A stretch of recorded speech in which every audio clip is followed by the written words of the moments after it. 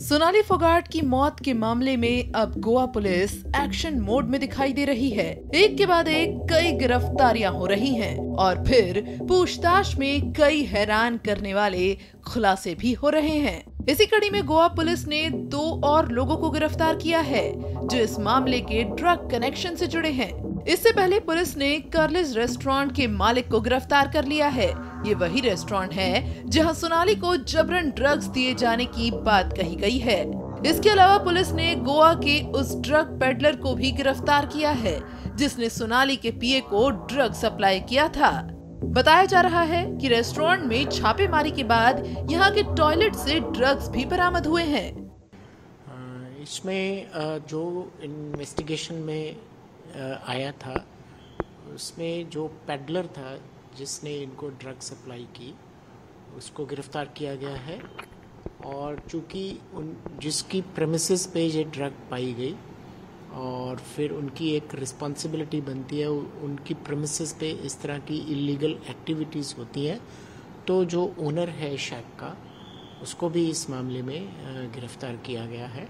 और इसके अलावा इस मामले की जाँच बिल्कुल निरंतर ठीक तरीके से चल रही है सोनाली फोगाट मामले में उनके पीए सुधीर सांगवान और साथी को पुलिस पहले ही गिरफ़्तार कर चुकी है और अब रेस्टोरेंट के मालिक और ड्रग पेडलर की गिरफ्तारी के बाद शिकंजे में आए लोगों की संख्याएँ लगातार बढ़ती जा रही हैं। पुलिस ने बताया कि जिस वॉशरूम से ड्रग मिला है, ये वही वॉशरूम है, जहाँ सोनाली फोगाट को ले जाया गया था। इतना ही नहीं, सोनाली फोगाट को वॉशरूम ले जाते हुए वहाँ का सीसीटीवी वीडियो भी सामने आ चुका है। ये वीडियो सोनाली की मौत से ठीक पहले का है, जो कई राज खोल रहा है। इस वीडियो में सोनाली की हालत बेहद खराब दिखाई दे रही है। वहीं सुधीर सांगवान ही उन्हें पकड़कर वॉशरूम ले जाता दिखाई दे रहा है। और तो और यहाँ उसका साथी सुखविंदर भी मौजूद है। उधर सोनाली के परिवार वाले शुरुआत से ही हत्या का आरोप लगा रहे हैं। वहीं माँ को खोने के बाद उनकी एक लौती बेटी यशोधरा की हालत बेहद खराब हो गई है। इस बात का अंदाज़ा पहले से ही था और यही वजह रही थी कि सोनाली फोगाट की मौत के अगले दिन यशोधरा को ये खबर दी गई कि उसकी माँ अब उसके साथ नहीं है। जिसके बाद यशोधरा ने पहली बार मीडिया के सामने आकर सरकार से अपनी माँ के गुनहगारों को पकड़ने की अपील की थी।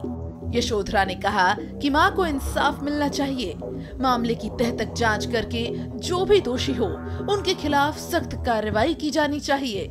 यशोधरा अपनी माँ को खोकर टूट चुकी हैं। वहीं अंतिम संस्कार के लिए जब माँ का शव यशोधरा के सामने आया था तो उसकी चीख निकल गई थी।